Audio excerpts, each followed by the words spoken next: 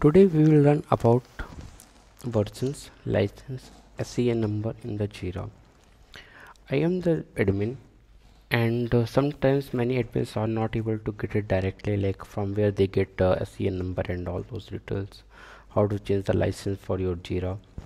Okay so you just need to click on the cog button go to application. Under this application tab you should be able to see all these details. Okay which jira version you are using? 822.2 these details you can see under your uh, let me open any of your ticket. In the UI also you can see it okay? This one. Version you can see it over here as well.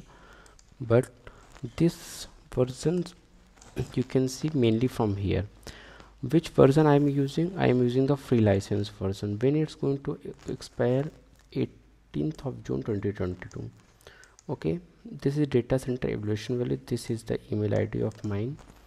Okay? Unique license key. This is the license key which I want I'm using. So can I make uh, can I provide it the uh, production or development uh, license or any other license? Just commit over here and just click on the I uh, just update the license. It will work okay? And if you want to uninstall just click on the uninstall. So like this if you want to any uh, upload an application just click on upload application provide the details over it click on here. So like this you can do.